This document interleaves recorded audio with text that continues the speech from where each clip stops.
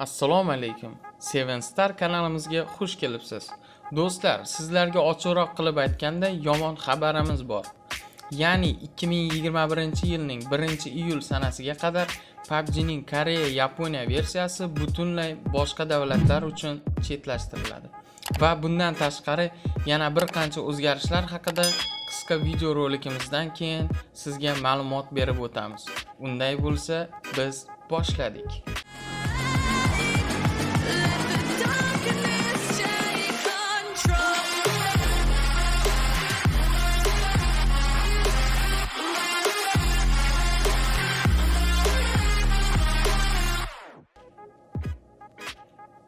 Hurmatli foydalanuvchilar, bu PUBG Mobile'dan.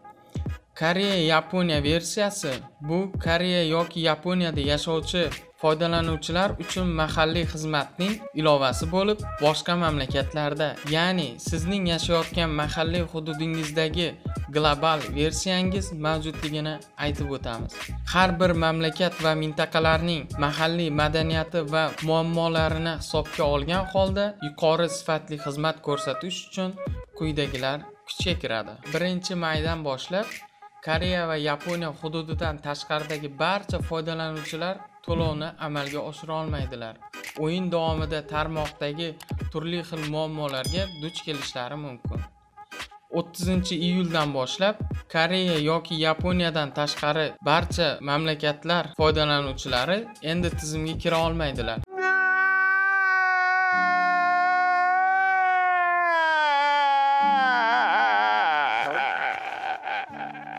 Qisqa qilib aytganda, akkauntlar qora ro'yxatga kiritiladi.